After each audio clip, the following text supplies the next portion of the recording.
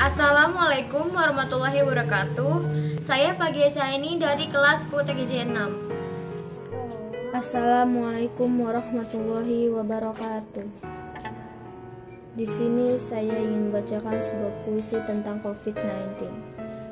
Assalamualaikum warahmatullahi wabarakatuh Perkenalkan nama saya Sylvia Dita Anggraini dari kelas 10 TKJ 4 Ingin membacakan puisi yang berjudul COVID-19 Kami masyarakat Indonesia peduli apa yang terjadi di negeri ini Yakin COVID-19 akan cepat berlalu Jika saya, Anda, Dan kalian tetap di rumah saja Jangan cuek, jangan panik, dan tetap tenang. Karena semua ini akan berlalu dan kembali baik lagi. Sekian, terima kasih. Wassalamualaikum warahmatullahi wabarakatuh.